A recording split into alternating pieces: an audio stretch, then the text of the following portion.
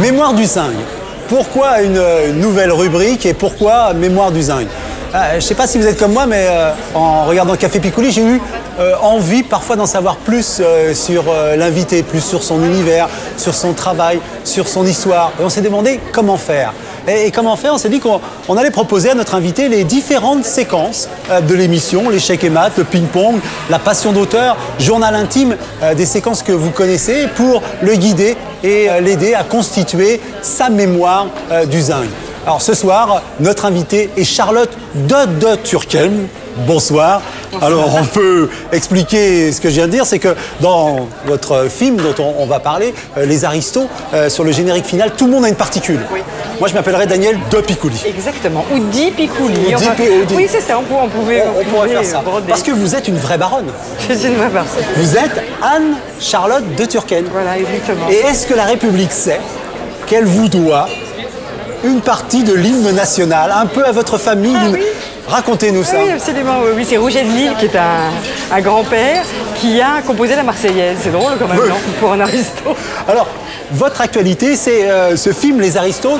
C'est un peu euh, l'histoire d'une famille un peu déjantée, quoi, Oui. euh, qui tout à coup doit 1 900 000 euros, enfin il y, a des- y a des centimes en plus, et qui doit les rembourser de façon extrêmement rapide, avec un huissier qui est aristophobe, ça de toute évidence, et donc ils vont devoir trouver des combines, sauf une, travailler.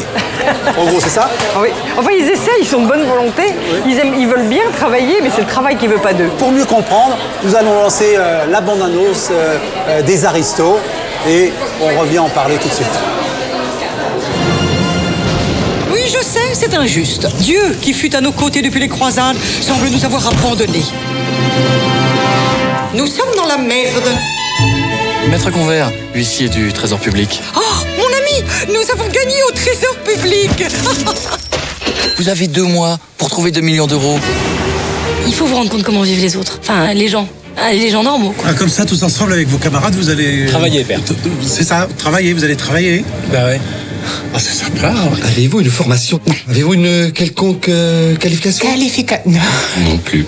Salaire demandé ou espéré? 1 991 753 euros 15 centimes. Voilà, mon idée, c'est ça. Mais vous avez raison, ce sont les nôtres qui vont nous aider. Christ m'appelle, Christ m'appelle, amour et joie, paix et bonheur.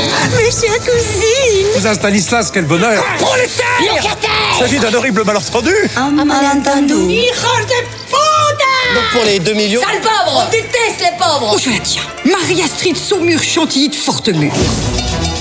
Ah, c'est Que vous cherchez Mais oui. Ah non, non, bah c'est ma cousine. En fait, elle est là-bas. Ah merde Bah, j'allais vous le dire, mais bon courage. Vous entendez, je le veux, achetez-le moi. C'est vrai, je me vends. Et je me vends pour les sauver. Oh, la belle âme. En même temps, faut être lucide. Avec vous, on n'aura rien gratos. C'est-à-dire Combien Et en exclusivité, les fiançailles de notre fille Marie-Astrid avec le comte Charles-Antoine d'Arbac de Neuville. Un souci, mon ami L'honneur, l'amour propre. Mais c'est pas vous qui m'expliquez tout ça l'autre jour, madame la comtesse Bah ça rigole moins les aristos là, hein Ça vous en met un petit coup dans la particule Bon, Charlotte de Turckheim, on vient de voir un peu cette famille de, de- de déjantés. Alors, euh, ce film, est-ce que vous êtes un- inspiré un petit peu? Vous avez tout un itinéraire, vous êtes passé par le Splendide, vous travaillez avec Coluche, avec Jerry Lewis même. Oui, j'ai- Ouais. Est-ce que tout ça a, a nourri Évidemment. Oh, bah oui, évidemment. Évidemment, je me suis euh, inspirée de beaucoup de choses que j'ai vues dans mon adolescence et dans mon enfance.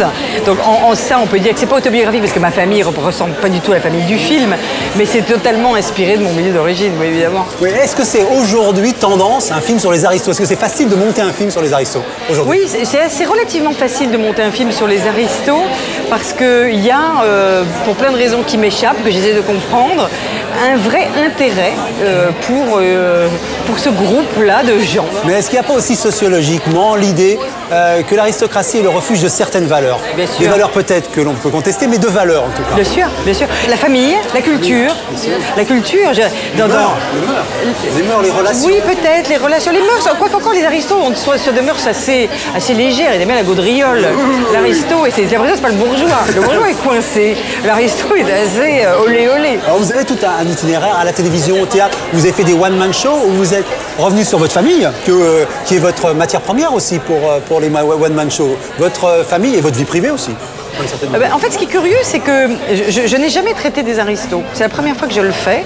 Mais euh, les gens pensent que dans tous mes spectacles, je parle des aristos. Et vous pensez que dans l'inconscient collectif, il y a un petit euh, rêve de roi ou de reine en France? Oui. Le- je pense que le français est profondément républicain et profondément monarchiste, ce qui est un peu compliqué pour lui à gérer. Donc une sorte de, de- de monarchie à l'espagnol euh, marchera assez bien en Oui, France. oui, qui fonctionne d'ailleurs euh, Oui, très, très, très bien en Espagne. Voilà, oui, Est-ce que notre dernier roi, c'est pas Charles de Gaulle? Notre dernier roi, je crois que c'est Chirac et Mitterrand. C'est ça. Donc, bon, est-ce que cette aristocratie politique a de l'avenir? Est-ce qu'on va élire un roi?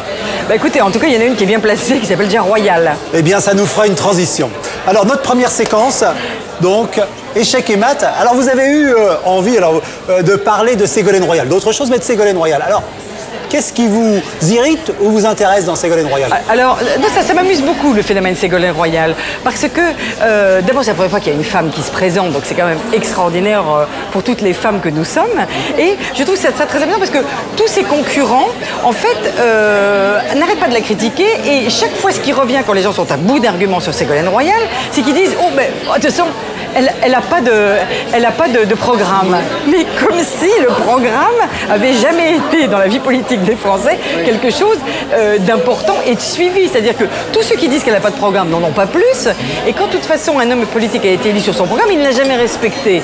Donc on se contrefout de savoir si Ségolène euh, euh, Royal a plus un programme ou moins un programme qu'eux. Voilà. Est-ce que son nom, Royal, est un élément dans, pas, non, dans, dans- dans l'espèce d'adhésion qu'il y a Oh non, je pense pas quand même, je pense pas. Bon, parce que sinon, ça, ça fait tout de suite, on a tous un prince consort. À partir du moment où on a Ségolène Royal, euh, François Hollande serait le prince consort. Oui, et qui est un mot d'ailleurs très ambigu. Oui, hein, absolument. parce est-ce qu'il est con, est-ce qu'on le sort, est-ce qu'on le sort parce qu'il est con, On enfin, tout ça est très. Voilà. Donc là, en ce moment, vous voteriez plutôt Ségolène Royal. Je dis plutôt Ségolène Royal. Alors, le ping-pong. Je vais vous donner cette petite balle parce qu'elle permet de se déstresser. Alors, est-ce qu'il y a Ping-pong, c'est on a subi une critique désagréable ou au contraire euh, une, critique qui nous plaît bien. De quoi avez-vous envie de parler? Alors, quelque chose, c'est pas quelque chose qui m'énerve, c'est quelque chose qui m'attriste. Euh, les, les comédies, les, les gens qui font de l'humour comme moi, on n'est pas du tout aidés par la presse. Et en fait, il y a quelqu'un qui m'a dit hier, un de ces journalistes euh, intello entre guillemets, à qui je demandais justement pourquoi euh, il- il n'aimait- euh, les gens ne nous aimaient pas. Il disait mais c'est parce que de toute façon, que on n'a pas l'impression qu'on peut vous aider parce que de toute façon ça va marcher quand même et etc. Donc ce que moi je voulais dire à, à ces gens-là, c'est que contrairement à ce qu'ils peuvent penser, mais on a vachement besoin d'aide parce que moi je revendique le, le côté euh, auteur de comédie. Alors c'est pas du film d'auteur, mais c'est pas non plus, de- on fait pas de film euh, et, et on a vachement besoin d'être aidé. Donc j'ai envie de le dire, mais plutôt que de nous enterrer, aidez-nous, aidez-nous à, à lutter contre les blockbusters américains. Et, Bien sûr. Et, et moi j'ai vachement voilà. Charlotte de Et- Turquem a besoin qu'on l'aide, les aristos. Non, allez donc, non mais si, allez donc y voir. En toute, euh, Redonnez-moi cette balle de ping-pong, merci. Et Je ne me plains donc, pas. passion d'auteur. Alors cette passion d'auteur, vous savez, on a, euh, on vous propose un, un miroir et on vous demande de, de- de parler euh, de quelqu'un euh, qui vous impressionne particulièrement ou qui vous a. Vous pouvez le prendre dans la main, voilà. Alors, euh, je me suis rendu compte que, en ce qui concernait les films, j'avais pas vraiment un metteur en scène préféré. J'allais dire que j'ai des films que j'ai adorés, mais c'est tellement vaste, c'est-à-dire que j'ai envie de vous dire, Breaking the Waves a, a- a- a Breaking, changé. Lars von Trier. Alors, ce film. Ben, C'est un film qui va tellement loin dans le- l'analyse du rapport amoureux que euh, ça m'a beaucoup interpellée, ça m'a beaucoup dérangée. Euh, J'ai à la fois détesté cette femme et je l'ai adorée. Et- ah, extraordinaire. c'était- non mais le personnage Oui, le aussi. puis le- mais toute cette situation, j'ai trouvé que ça allait. Je qu'il va, il va au très fond de l'âme humaine d'une manière euh, bouleversante. Voilà. C'est Emily Watson. c'est Ah oui, et et c'est les moyens, parce qu'il y a dans ce film aussi la mise en œuvre d'un dogme, Oui, puisque- bien sûr, oui, oui. et, et de, de moyens minimalistes. Est-ce que vous êtes intéressé parfois euh, par ce type de cinéma Alors moi je dirais pas que c'est minimaliste, je dirais que c'est extrêmement élaboré au Oui. contraire, parce qu'il y a une lumière absolument spectaculaire, il y a cette manière de- de filmer qui était incroyable, et dont on dit dit, je ne sais pas si c'est vrai, que dans Breaking the Wave, il, il- il filme toujours en faisant un signe de croix avec sa caméra. D'ailleurs, sur le titre, Breaking the Wave, il y a un tout petit mouvement comme ça qu'on croit à l'instabilité de la caméra et qui est en fait ce de fameux signe de croix. Mer- Merci. Vous voyez, cette passion d'auteur. Par- parfait. Alors, votre journal intime. Alors, pour ce journal intime, je vais vous proposer cette petite caméra. Oui. Voilà, prenez-la, prenez-la. Et j'aimerais que vous nous emmeniez dans un endroit qui vous est cher, qui vous touche. Et, je sais que vous êtes engagé aux Philippines au- auprès euh, d'enfants. Je voudrais que vous en parliez, mais comme si on arrivait à cet orphelinat. Alors, qu'est-ce que vous voyez? Qui vous rencontrez? Alors d'abord, quand, quand j'arrive, ce qui est toujours euh, très touchant pour moi, c'est qu'il y a souvent euh, plein, plein des petites filles dont- qui sont dans, dans- dans le centre, qui m'attendent à l'aéroport. Et donc pour moi, c'est un moment incroyable parce que je, je- je- je sors, descendez. je descends, et là, je suis déjà émue parce que je sais qu'elles sont là. On s'est pas vu, j'y vais une fois par an, donc je sais qu'elles ont grandi, qu'elles ont changé, euh, et c'est évidemment un moment euh, d'émotion euh, in- intense parce que euh, euh, euh, moi aussi, j'ai changé. Elles ont préparé des grandes banderoles et des chansons. Alors tout d'un coup, c'est vrai que l'aéroport entier se met à chanter et tout, et Ah oui. tout, de quoi Vraiment, tout le monde pleure. Et puis quelquefois, je filme comme ça, donc je filme un peu tous les visages, comme je fais là. Voilà. Alors tout le monde est un peu gêné. Alors quand, quand la caméra arrive sur elles sont, ils ont donc, asiatiques. vous allez euh, jusqu'à. C'est quoi la ville? Comment ça ça s'appelle s'appelle Cebu. Mais ce qu'il faut savoir aussi là-bas, c'est que à la fois c'est un pays religieux, les Philippines, mais les bonnes sœurs, euh, euh, comme il y a plein d'enfants, il y en a toujours une qui sera bonne sœur. Donc euh, elles ont avant tout, enfin Sister Marcia, c'est ce sort de sœur Emmanuel ou de Mère Teresa. Enfin c'est, c'est- ça sera une sainte un dans son pays. C'est, ce c'est une femme incroyable. C'est une sainte. voilà. Mais euh, et alors moi, euh, ce que je fais, c'est que tout de suite j'essaie de mettre de la rigolade et elles savent aussi, elles m'attendent aussi pour ça. Alors par exemple, je vais faire des défilés de mode. Alors euh, Donc, avec donc, le- Alors donc Sister Marcia, justement, parce que ce qui fait marrer les filles, Mais c'est pas, pas les sœurs qui défilent, ça c'est Si. du Fellini. Ah, c'est Si, du Fe- si. Ah oui Alors le Sister Marcia, elle fait Cindy Crawford par exemple. Alors évidemment, tout l'orphelinat est mort de rire. En tout cas, Charlotte de Turquie, peut me permettre de vous dire ça vous fait de très très beaux yeux. quand- voit que quand vous parlez d'eux.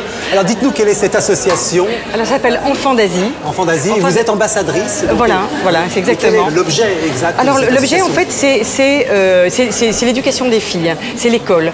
Une enfant qui va à l'école c'est un salaire de moins qui rentre à la maison. Voilà. Donc on, on essaie de remplacer si vous voulez ce salaire par euh, des sacs de riz, de la nourriture, etc. pour que les, les filles soient maintenues à l'école. C'est notre objectif. Voilà, bah, je- vous avez fait faire un, un très très joli euh, voyage avec ce, ce journal intime Charlotte de Turquie. Donc les Sortis le 20 septembre. septembre. Ne vous occupez pas des, des- de certains supports, allez voir, faites-vous votre euh, idée. En tout cas, nous, on a maintenant, je crois, euh, un portrait de, de- de Charlotte de Turquem, euh, je crois, plus précis, plus intime peut-être. En tout cas, moi, je tiens à, à vous remercier. Merci vous. Merci beaucoup à vous. Au revoir.